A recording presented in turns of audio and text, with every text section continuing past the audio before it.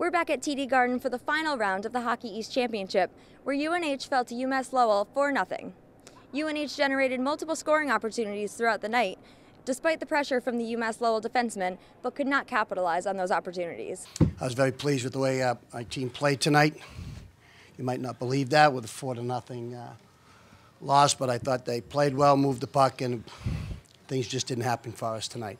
We got some shots, got some traffic in front of their goalie, um, but just he was good at deflecting into the corners and not leaving too many rebounds out front and uh, eliminating those second chance opportunities, which was uh, key for them. I thought we generated um, enough scoring opportunities uh, to be in the game. That didn't go in. I think we hit the pipe three times. Um, it just didn't happen. And the difficult part is uh, it's a team with great chemistry.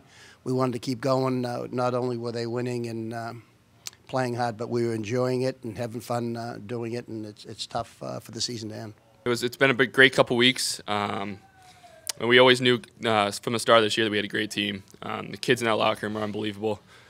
Um, we knew we knew we could do something special. We uh, hit a couple bumps in the in the in the middle of the season there, uh, but you know we battled through it and we uh, we kept positive and, and tried to tried to keep going.